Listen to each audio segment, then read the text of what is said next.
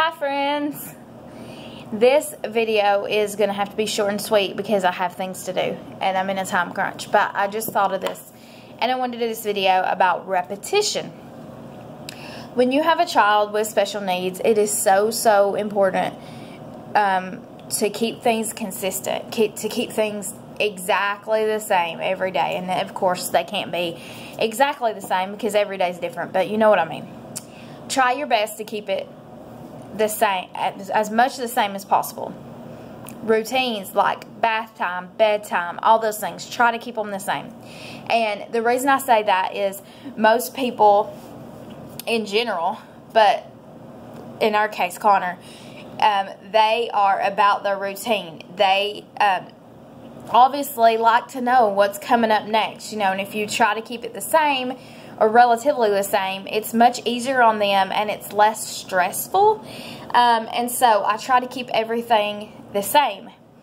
And um, like our bedtime routine is the same every night. You know, we um, we put on our jammies and we um, change our diaper, of course, and we um, have a specific diaper we wear at night. And he knows that now. He'll go get it when he's ready to go to bed. And it means I'm tired, put me to bed. And we go to bed at the same time every, well, he goes to bed at the same time every night.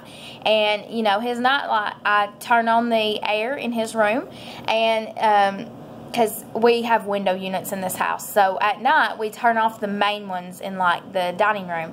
And we, um, Connor has a small one in his room and then we have a big one in our room. So we just turn them on in our rooms. That way we're not cooling off the whole house because there's no reason to really. And so he knows like after I change his diaper, put on that special diaper, and put his jammies on him, he knows that we'll go to his room, I'll turn on the um, window air unit, and um, I will plug in his nightlight, and we will sing our bedtime prayer song, and I will put him to bed. And we've done that song every night since he came home, and he knows, and he'll like jabber along to it and and so we like to keep it the same. I always tell him I love him. I always tell him good night. And one night he said, uh, sometimes I say not, normally I say not, not, not good night. And one night he, before I, like I didn't say it and I was about to go out and shut his door behind me and he said not, not, like hello. And so it was just so awesome because you don't leave my room, Mom, without saying not night. And so um, things like that um, are just important. You know, he may have, I'm not going to say he would have never said not night, but that prompted him to say it because he was thinking, hello, you know what I mean? And I think the next thing he knows, it just came out of his mouth. And so that's another reason I love repetition. Whenever um, I'm leaving, I always say, bye, I love you every time, no matter what. Bye, I love you. Bye, I love you. Bye, I love you. And now it's just like out of habit, you know, I say it, but one day, and he'll say bye, but one day I believe he will say I love you back. Now, will it sound exactly like I love you? Maybe, maybe not. But it will be enough where I know what he means, you know? And so that's just something cool. And I just believe that. I really do. Um, and let's see, what else? Um, mealtime obviously is different because we eat different meals, but I try to feed him at the same time every night. Of course, life gets busy. You go different places. You do different things. But for sure, bedtime is always the same. Um, you know, this house doesn't have a bathtub. And we moved into it. Um, Connor hadn't even been home a year. We moved into this house. And I'm like, it's fine. Showers are fine. And showers were a flat out disaster. He panicked. I'm not talking, oh, he cried and he whined, he threw a little fit. He panicked. Um, and so for a while, I was giving him a bath in the sink. And, but his legs are super long and he's like folded up in there. And I decided we're going to quit doing that. Um, for a while, I filled up a tote, a big tote. You've probably seen it if you follow me on social media and we put it in the shower and we did it like that and then gradually I got him used to I would we have um, the shower head we have pulls down and so even though he was in this tote and I bathed him and all that in this tote I would lather up his hair and I would rinse it with that shower head. And that's how I eventually got him switched to showers.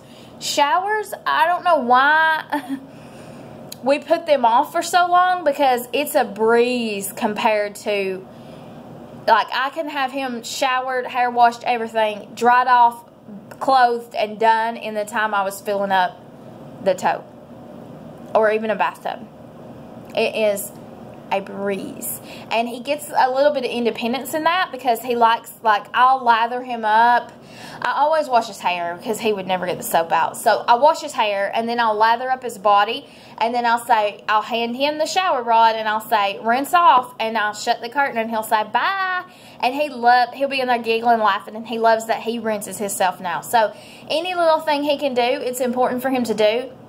Obviously right now it's not perfectly coordinated and it's not a hundred percent of a job and that's why I lather him up or he wouldn't even he would come out of the shower not even clean y'all know he would um, but eventually maybe we'll get there and if not at least he's doing a little bit of it himself so shower time is always the same um, I do only wash his hair every other night. I've always done that, but I definitely do that now that he has alopecia and it's falling out easier. Um, I don't want to make it fall out anymore. I don't know if that would or not, but I just, so some nights are different because it's not hair washing. But anyway, he's figured that out too. He's super smart. And um, let's see, what else do we keep the same? Um, we have the same morning routine when school's in, of course. We have the exact same morning routine. And he knows when I get him up and he's not like getting dressed immediately and having his teeth brushed immediately, he knows that it's Saturday or Sunday. Like, he has already figured it out, you know. And um, things like that make it easier because he knows what's coming next, and it just is, um, it just makes life so much easier. So, um, that doesn't have to be with a special needs child. Your typical children I would definitely say have a routine and stick to your routine when you can. Obviously, some things are different. You know, if we go out of town, if we're staying in a hotel, things are different. But um, he's he's doing better with that. You know, when he first come home, he would have a hard time with that. But he's doing a lot better with that. And he does stay with my mother-in-law and father-in-law and with my mom and dad some. He has spent the night at their house he has a room at their house. He has a bed at their house. And so he kind of even knows how that's going to go because they have their own little routine. And so he knows if he's over there and it's dark outside, he knows I'm staying, you know. And so it's kind of cool to see that too because he's just catching on to so many things. And it's just funny when you look at him and then you think of the little boy you brought home who was like so I don't want to say nervous, but yeah, I guess nervous. And he would get every little thing you could tell would like overwhelm him, and he would just be kind of distraught and stressed out. And it's just, he doesn't do that anymore. And so that's super cool to see.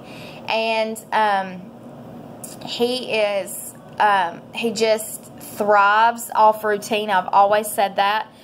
They told us that before we even met him from the orphanage, they told us, you know, he thrives off routine. But yet, I've never seen a child so go with the flow. Like this past weekend, we were um, helping my mama pack up the, her all her stuff in a U-Haul, and she moved to Texas with my uncle.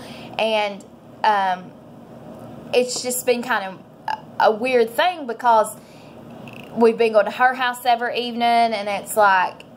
Um, just a different environment. Uh, you know, the only toys that are there are the ones I take with him, which of course I pack some with him.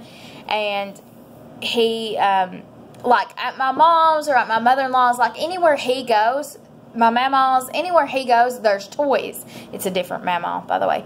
But anyway, anywhere he goes, there's toys. And and he knows, oh, these toys are there, you know, I'll play with them. So up there, there's like no toys, you know, we're moving stuff all around him. He got in a box. I wish I could put the picture up. I'll post it to my social media if you follow me. But he got in a box with a few little toys I brought, and he just played in that box. He just sit and played in the box. So he is very, he will go with the flow, but he thrives better off of routine. And I think um, he loves school. I think a lot of it is he knows what to expect, and it's more because summer, you know, we do different stuff. Maybe we stay home, maybe we go somewhere, maybe, you know. And I feel like with school, he knows. You know, my mom gets me up. We this is our morning routine. I get on the bus. I get to school. I have breakfast. This is our morning routine at school. You know, and he he's figured it out. He's just so smart. And anyway, so my advice to moms is get a routine. And I don't mean try to put your newborn on a routine. Don't get me wrong. I've never had a newborn. Connor came home at three years old. Within like a week, he was sleeping through the night. We had it made. I'm not even bragging about it. I'm not. I mean, he's just, he's such a good kid. He's, he's go with the flow. Like he, you totally flipped. It's a 12 hour time difference in Hong Kong. And you totally flipped. And in a week, you were flipped and you were golden. And it was just, it's just so crazy. And so, um, I, I'm not harping at you if you have a newborn to get your newborn on a routine because they kind of set their own little mold there. Um, so please don't think I'm saying that. But like older children, if you'll get you a routine, it'll be much easier. And like I said, Connor's just a really good kid. We had it made as far as I tell him you're going to bed and I don't hear no mouthing about it. He goes he goes to bed. Some nights he wants to be put to bed. Um, a couple weeks ago, I was trying to, I don't remember what we were going to do. We were going to do something, and I was trying to keep him awake. And um, he wanted to go to bed. He kept, he would like pretend to yawn and then look at me. It's going to make me really yawn. Sorry, guys. but like, he would pretend to yawn and then he would look at me and he wanted me to put him to bed. I told him, I was telling Jeremy we're going to have to learn the bad sign because he would totally pick up that one and nail that one because he loves going to bed. I've never met a child that loves to sleep so much. But anyway, I just wanted to get on here and tell you that and just tell you that um, I think we all could thrive off of a routine better. Um, I know I probably could, but definitely our children. And it helps them know what's coming next and talk to them too about it. I'll tell Connor, hey, today we're going to go, you know, do blah, blah, blah. And, you know, and, and it has really um, benefited him. It has really um, helped in a lot of ways. And so, um, which makes perfect sense because, you know, as adults, we know what we're going to do. I know tomorrow when I get off work what all I have to do. But like the kids don't know, you know, what's about to happen, what's it, and that's where a lot of um, anxiety and the distress and overwhelming feelings come in. And, you know, as adults, we feel them enough because life is tough and things are hard. And let's not pass that on to our children while they're still young and need to be children. So talk to them, get a routine, tell them when it changes, talk to them. There's only benefits that can come from that, honestly. And so I just want to hop on here and tell y'all that short and sweet. I don't know why it popped in my mind, but it popped in my mind, and I was like, mm, yeah, let's do it. So here I am. Anyway, I have dishes that need washed. I have laundry that needs done, and it's going to be bedtime before you know it. So I will talk to y'all later.